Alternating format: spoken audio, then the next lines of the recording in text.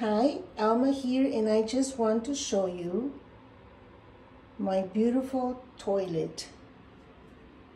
It is an auto single unit toilet and I want to show you how it flushes. It is a nice toilet that is 15 inches wide. It is one piece. It's elongated. It comes with the seat cover. It's a soft close. And it measures about 17 and a half inches to the rim here. So it's ADA approved.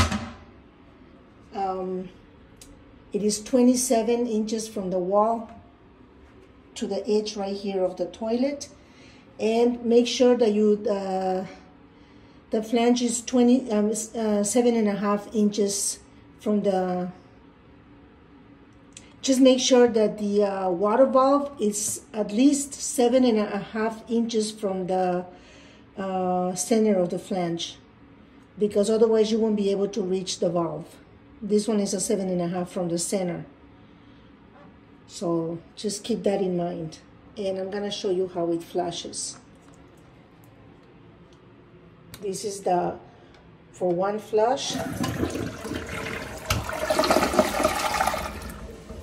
And that's it, it's water saving, it's great. And let's wait really quick for the uh, tank to fill up and I'll show you the other one, which is this one.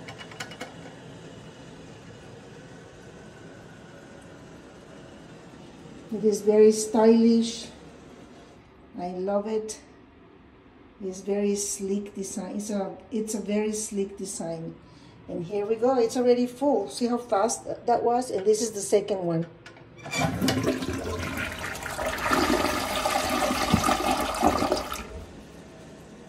And there you have it. It is great. I love it and it was definitely worth the purchase.